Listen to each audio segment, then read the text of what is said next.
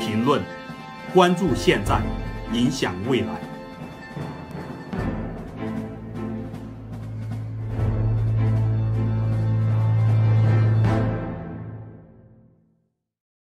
大家好，欢迎收看评论号的短视频，我是主持人秦伟平。啊，这两天呢是有一个呃关于武汉的消息在互联网上流传。啊，这个消息跟以前也不太一样，确实有点骇人听闻。啊，是有几十个大学生在武汉神秘的失踪。啊，这其实是一个微信公众号发出来的消息，然后但是呢，迅速的引起啊网络的轰动。大概有呃三十二个在武汉失踪的大学生，然后。呃，情况各有不同，但是呢都非常蹊跷。然后大多数、绝大多数都是男性，然后身高可能呃很多都在一米八左右，然后基本上在一米七到一米八之间。呃，家庭情况也各异，来自世界各地，基本上是普通家庭的孩子。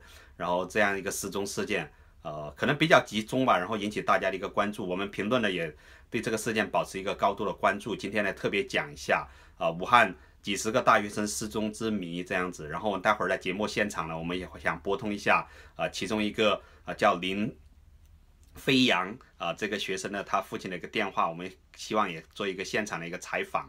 当然我不确定电话是不是能打通。呃，最新的消息是这样，最新的消息呢，武汉市警方呢已经在辟谣，这种辟谣其实是在我们想象之中了。呃，他的辟谣原文是怎么样的？说，呃。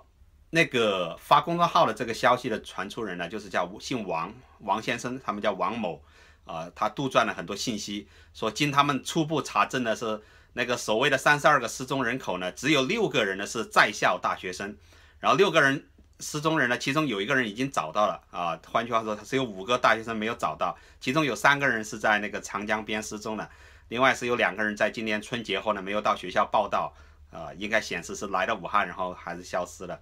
啊，其实蛮有意思啊，这个其实警方看起来好像在灭火啊，然后其实是在向公众在证实，确实这个失踪事件并不是啊虚构的啊，在现在这个朗朗乾坤之下，确实还有大学生在失踪，然后另外还有几十个，呃，三十二个人嘛，除了这六个人说是在校大学生，其他的还是跟武汉都有千丝万缕的联系，比如说在武汉的啊学校的毕业之后，然后又回到武汉失踪这样子啊，都是非常非常之蹊跷。呃，这个人口失踪问题呢，也可以说是一个呃世界性的一个非常严重的问题吧。呃，我们知道，在今年六月份是中国留学到美国的一个呃学生叫张莹莹啊，她也是神秘的失踪了。然后到现在为止啊，美国其实我们讲美国它的一个司法系统运作还是比较高效的，但是确实呃到现在为止也没有找到张莹莹她这个人，不管她是是否健在人世，还是说已经。哦，可能不幸遇害了，但是都没有找到，非常非常之蹊跷。所以，我们这个世界其实，呃，远没有我们自己我们看起来的这么完美了。就是世界有很多阴暗面，呃，不光中国有，美国也有，呃，甚至我们讲到说，在中国比较严重的那些拐卖儿童的问题，其实美国也有一些小孩子经常会失踪啊，呃，然后因为各种原因就失踪了，然后美国后来后来采取一个叫安博警报，啊，如果发现。啊，有异常了怎么样？就赶紧报警，警察会全全全部的会在那个所在区域的手机都会发警报，然后协助大家去找，比如说那个啊嫌疑车辆是什么样的特征呢？要大家去抓。啊，确实是啊，通过一些技术手段呢，一些改进方法呢，确实是这个失踪人口大幅下降。但是我们其实有时候看到美国的报纸啊，经常也会发现啊一些寻人启事，呃，就是人就 missing 了，就丢掉了这样子，就是很奇怪，从小孩子到大人都有。啊，这个，但是像武汉这一次有几十人这种神秘失踪的这种情况，呃，说是非常非常罕见的，然后引起公众的猜猜想或者恐慌是非常非常正常的，因为，因为怎么说呢，都是基本上二十岁左右的这种大学生比较集中了，不是说武汉失踪的就这些人，可能还有小孩子也有失踪，老人也有失踪，成年人也有失踪，但是呢，呃，这个被曝光出来了，这个有几十个呃青春年少的这个。这种学生突然失踪的话，确实引起社会的一个大幅的猜想。我们知道武汉呢是呃全国属于高校比较集中的地方，它可能是呃在校大学生都有一百多万，它可能仅次于它的规模啊，高等教育的规模是仅次于北京的啊，算是比较强的。另外，武汉的那个呃医院呢也是医疗系统也是比较发达啊，所以确实是引起很多很多猜想了。首先，呃，我们在在评价这这次话题之前，我想试一下打一下那个林飞扬先生父亲的电话，他父亲叫林少卿，我不知道能不能打通，我们试一下啊。嗯，哎，你好。喂。哎，你好，请问是林飞扬父亲电话吗？呃，是的。哎，你好，你好，打扰了这么晚，然后呃，我是呃，我姓秦，我是从美国打过来的，我是美国一个自媒体的主持人啊，然后。我们啊很关注这个事件，然后想啊跟您电话聊一下情况，方便吗？呃，好的，好的，可以。啊，不好意思，有点太晚了，打扰了。是这样子，我们啊这两天呢是呃在美国也可以通过那个网络媒体看到说，呃武汉有几十个大学生失踪的情况，其中就有呃您儿子呃林飞扬，然后呃是。在这件事里面，林林飞扬先生是第一个，可能是您花了大量的精力去寻找的过程中，发现有其他的学生失踪。你可以简单的给我介绍一下，呃，您儿子林飞扬的情况吗？谢谢。呃，那我儿子林飞扬嘛，嗯，就我们送他到这莫斯科大学里边读书嘛，嗯。跟他上午给他妈打电话，我都一直联系。但是有一天呢，就发现电话打不通了。嗯。打不通也不，呃，不知道咋回事。一直到第二天，这还是打不通。打不通呢，呃，我们家里。嗯。我我就直接到莫斯科那边去找他。嗯。嗯，找他，嗯，到学校以后呢。嗯他的同学，呃，舍友，也都在找他，说他已经有在两个星期没有到学校，也没有回宿舍住。哦。都不知道他跑到哪里去了。嗯。啊，那那后面呢？我们就在学校报警，呃，通过。莫斯科警方呃就找他的通讯记录，嗯，呃，查到他用过嗯南方航空公司的飞机票，嗯，从莫斯科大学到武汉，嗯，然后我我就马上又到武汉，到武汉机场那边也呃找到他当时呃下飞机的监控录像，录像哦。找到呃几个片段啊，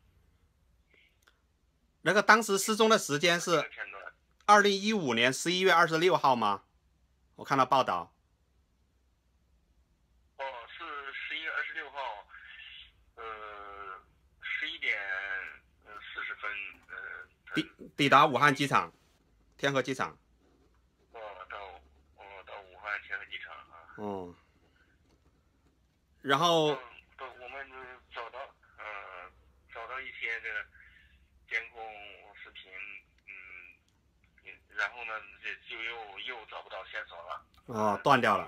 哦。嗯，断掉了，断掉了，我们就呃求助那武汉当地的警方、广播啊，哦，广播，那个出天都市报啊，媒体都在帮助，可能啊。啊，嗯，找这个媒体，啊，我们也。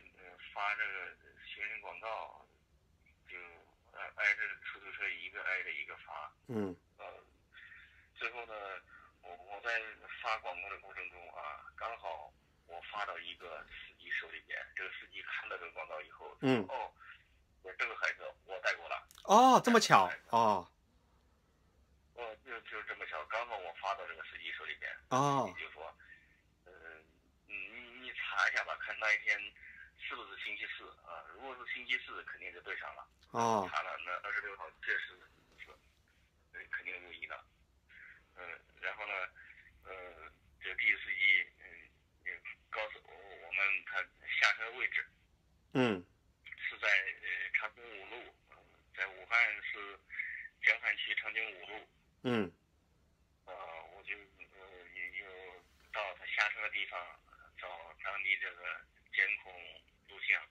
嗯，也看到了他，他是一个人在背着书包，在长岭路上走，走到最后进了。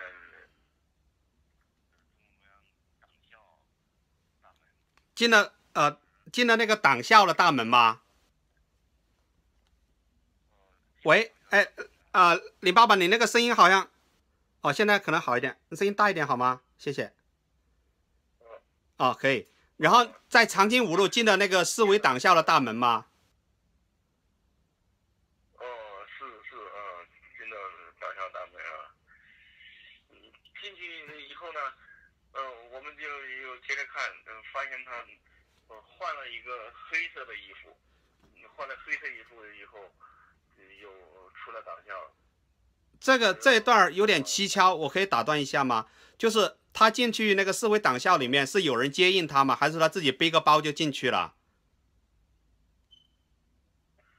呃，我们是看到他自己背个包，呃，就直接就进去了，也没有看到有有人接应。然后很快就出来了，是吧？好像看媒体报道说几分钟就出来了吗？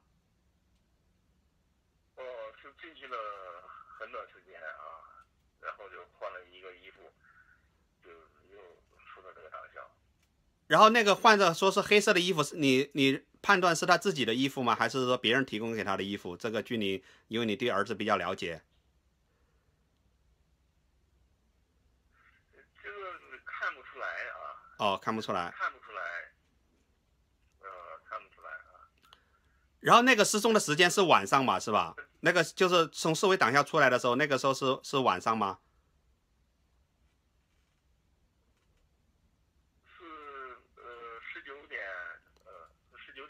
哦，那就晚上七点钟，其实其实还不是很晚，等于是应该说街上人还是很多，对吗？哦，街上人都很多啊。然后就从那之后，视频呃消失之后，就再也找不到任何消息了，是这样吗？嗯，从那个出来以后，又到了一个交通枢纽。哦。换乘站吧。哦，换乘站。嗯。然后就最后有就还有下一步的记录吗？就没有记录了。啊，实在是非常离奇。那那您觉得说你小孩子的这个性格，他是比较外向一点呢，喜欢交朋友，还是比较内向一点？就是说比较不太喜欢给人交往呢？就您理解？呃，他性格内向的啊，他内向一些性格啊。哦，比较内向。然后他去莫斯科读书也没有几个月是吧？好像。他去了三个月嘛，是八月份去的，十一月回的。哦，那您觉得他在莫斯科那边，莫斯科大学那边，他是不是不是不适应那边环境，然后，呃，就就想回来，或者说可能会认识，比如说武汉的某一个网友，有没有这种可能性？他他突然就回来，你觉得有这种可能性吗？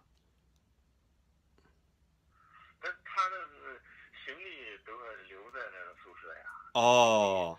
呃，他去的时候，呃，带了两个那个非常大的箱子呃，我们用称称着呢，一个箱子都二十七公斤。哦。多行李啊！他等于是他回武汉，应该是一个很临时的行为，应该就你们判断的话，是一个很临时的行为，对吗？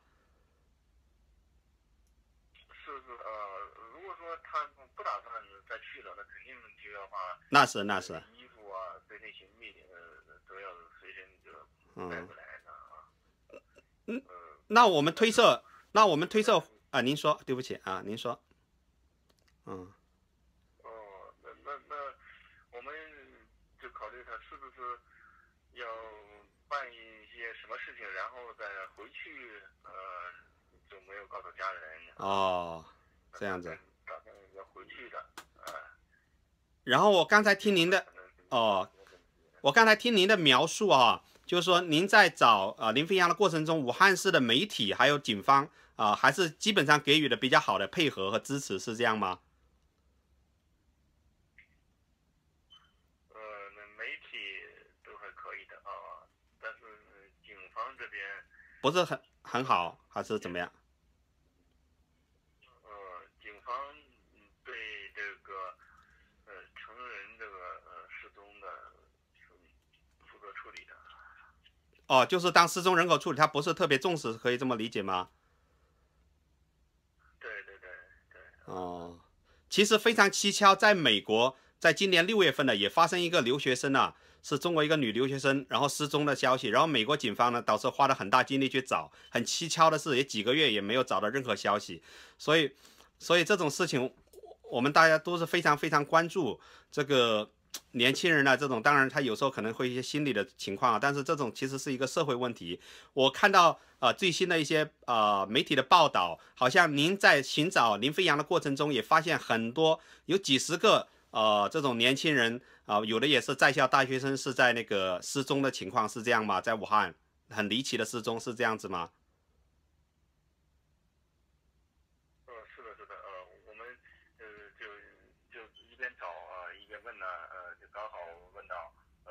还有一个孩子丢了，呃，我们就联系上了。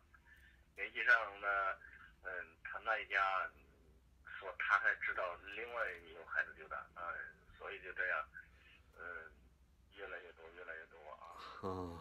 最后我们也碰到一起了啊。哦，然后网上的那个报道，不知道您您有没有看到，就是说啊，有几十个大学生的。呃，失踪的报道就这几天了，你有留意到这个信息吗？是基本的，你跟你的情况提供的情况基本相符吗？谢谢。哦，我也收到很多打过来的电话，嗯，都是问，呃，这个事情啊，呃，是真的还是假的？嗯，是骗子啊？嗯，还有一些，呃呃，提供一些帮助啊，嗯，说。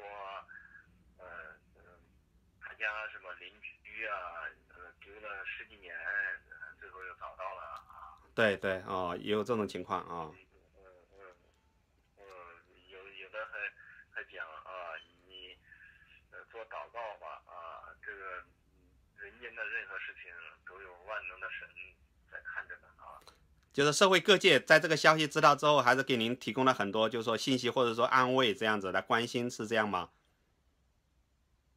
哦，是的，是的，我接到很多电话啊辛苦了，辛苦您真的是，因为我们也特别理解一个父亲的一个心情，真的是啊，非常非常的这个状况非常不好，然后希望未来会有好的结果，然后然后我们也希望说对这个事情保持一个关注，呃，可能海内外都一起会，因为呃这个留学生的事情嘛，也算是你小孩涉及到是在海外留学，然后突然回去，对不对？呃，可能。呃，海外也比较关注这样的一个信息，我希望呢可以啊，我们保持联系，然后呢，呃，尽可能的能能有个比较好的结果的出现。那另外，我再想多问一句哈，您自己作为父亲哈，你有没有就是各种设想？比如说外界在推测，觉得说呃会不会是绑架勒索啊，或者说加入误入那种传销团伙？应该这两个是不是很容易就排除了？我想听你的个人的看法。因为我们也没有其他可以呃找这个线索啊，就是我们也，他各种情况都可能有吧。我们也假设什么传销啊，对，或者呃做呃劳役啊，做做奴役啊，嗯，嗯，或者说呃他自己躲起来了，不愿意见人啊，见家人啊，呃，或者说被。其他非法组织，呃，给倒卖器官了，把人给杀害了，就是各种情况你们都想过，等于是。嗯，我们天天就在想这个问题。哎呀。家长呃在一起，就就是天天在想问题啊，从哪个地方入手啊，怎样来找，但是都是没有任何进展。按照现在的呃这个。媒体的一个发展形式，网络媒体。如果说，呃，您儿子林飞扬先生他是一个自由的情况下，他你认为他会上网去搜索，呃，比如说相关的信息嘛？比如说他自己的名字，或者说呃父亲的信息，他如果一搜索，是不是很容易就知道说家人在急切的找他？就你的理解，他喜因为年轻人都喜欢网络嘛，他有这种网络使用习惯吗？比较频繁的。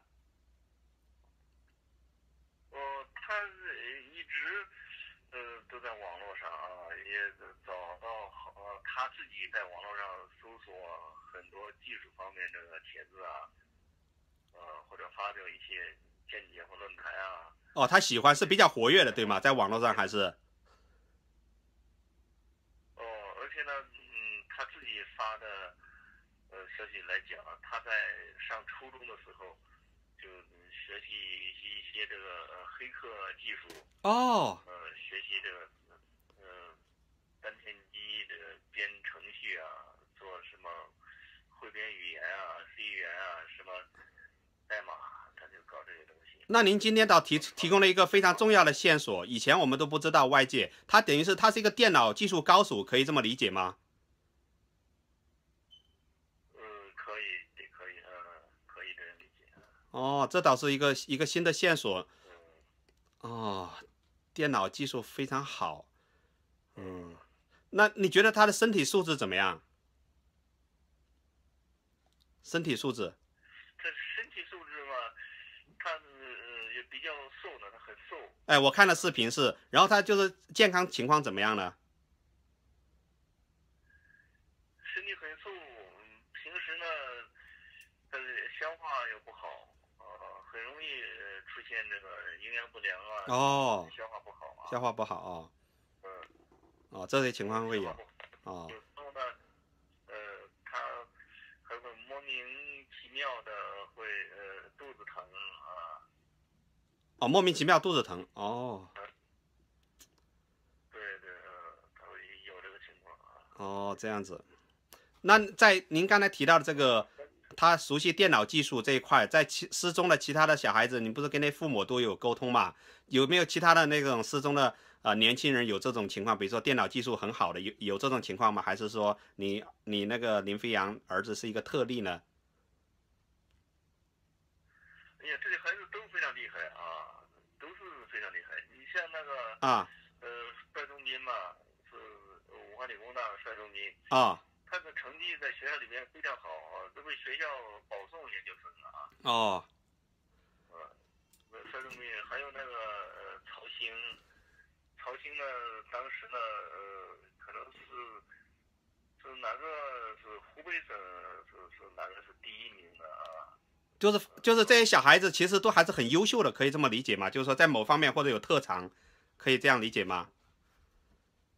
就你了解。非常优秀的，而且都是呃。国家的重点那个院校呢，都是嗯，武汉科技大学、华中理工大学、武汉大学，都是这个重点院校、一类院校的啊。如果是像您刚才提供的这个情况，会不会还有另外一种猜测？哈，外界当然有人也想，他们会被呃被某些组织啊，这种神秘组织，有可能是官方的，有可能是非官方的，认为他们可能具有某项特别的才能。把他们招进去做一个特别培养，然后呢，因为他们那个保密性啊，然后就不给外界联系，有没有这样一种可能呢？因为听您讲到说，啊，这些小孩子都很优秀，而且看到很多身高都是很高的，您儿子身高也差不多一米八左右，对吗？啊，他一米八五的。哦，一米八五，所以觉得就非常蹊跷，会不会有这种可能性？你们作为父母的有猜测过吗？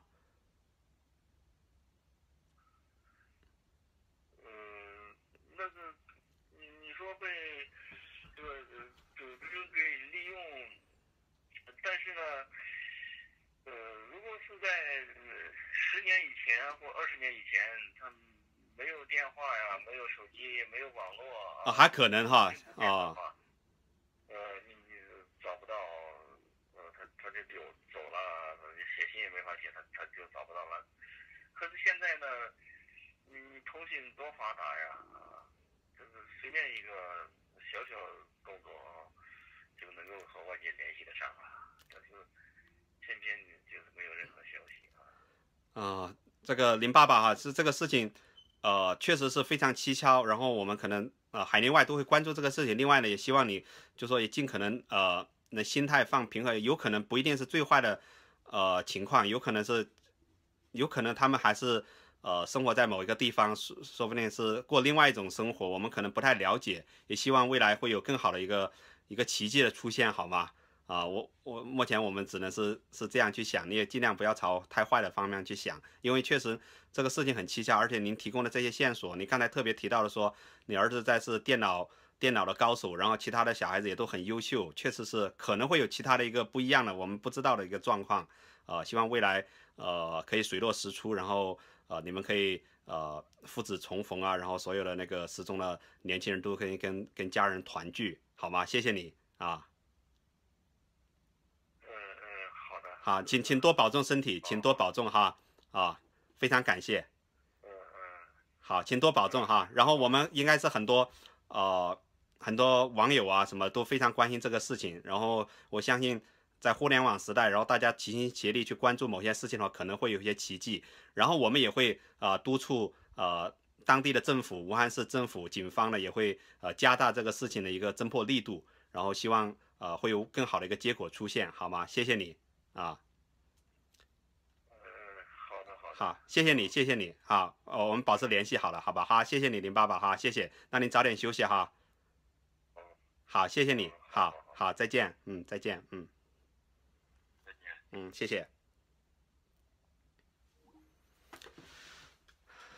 各位评论观众朋友，大家好，刚才啊第二次拨通林爸爸的啊电话是打通掉了，然后。呃，很幸运，然后我们刚才通了大概二十几分钟电话，呃，这个情况我们呃从媒体的报道，还有因为湖北当地媒体对林飞扬这个事情也做了很多报道，呃，除了有些事实还原之外呢，还有一些特别情况啊，媒体没有讲过。他父亲刚才讲过，林飞扬十几岁的时候呢，都都学会自己在学那个呃单片机编程啊什么的，他那个黑客技术也比较好。我当时突然有一个一个奇想，比如说抛开这些。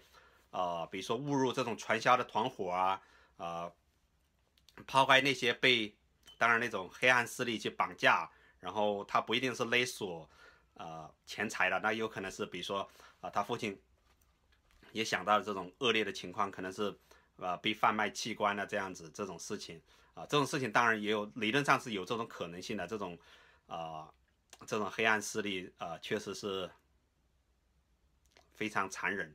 也非常嚣张，啊，是有这种状况出现，然后有这种理论上的基础，我们希望说警方呢也会更加重视这个事情。另外，其实呃还有另外一个可能性就是呃我们说某一个组织好了啊，我们也不知道是官方还是非官方的，呃，假设说呃非官方的这种黑社会组织啊，甚至这些恐怖组织啊，他可能会呃要求或者通过网络啊呃吸引某些。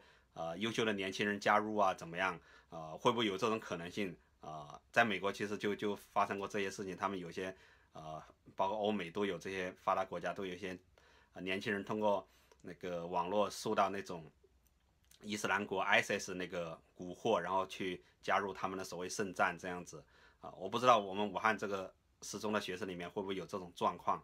另外还有会不会说是有呃中国的军方啊或者？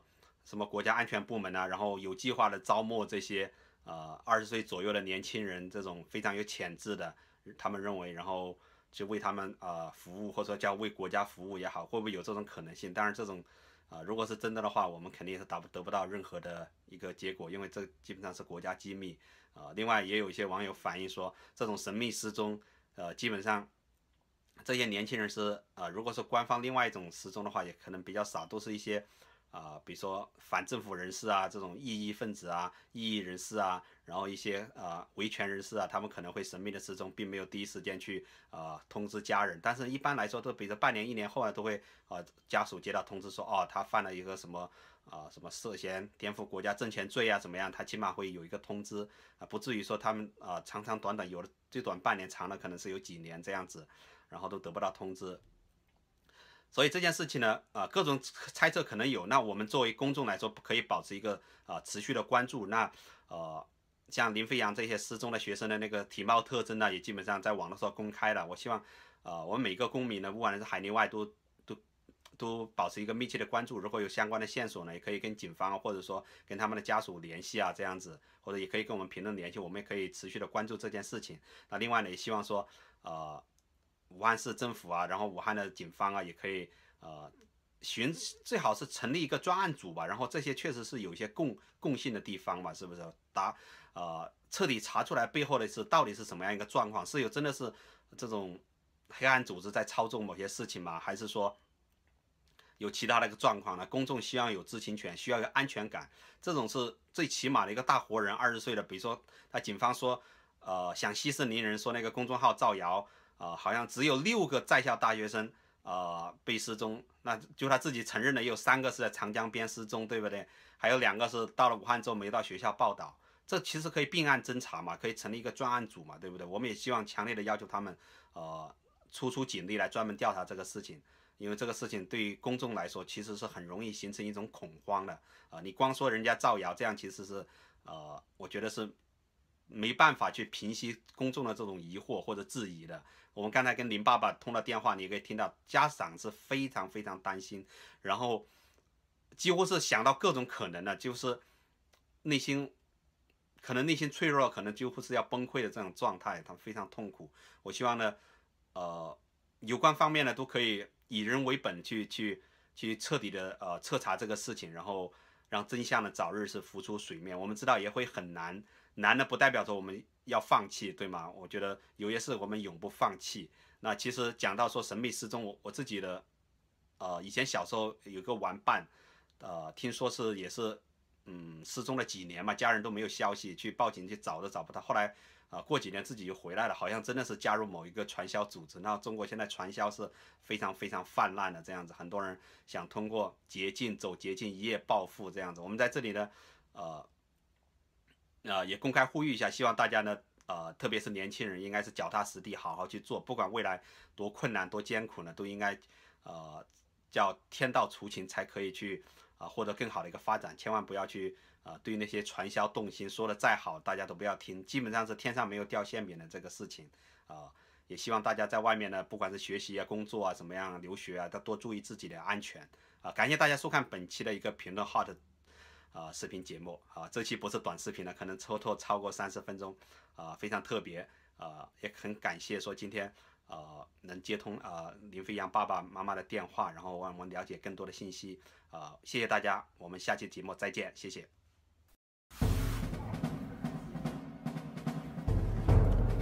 每天都有财经大事件发生，每天都有时局风云变幻。你可以无动于衷，但不可以装作看不到和听不见。用力拨开资本迷雾，让公众克服贪婪和恐惧。冷眼观察政治博弈，揭秘危机背后的真相。评论，关注现在，影响未来。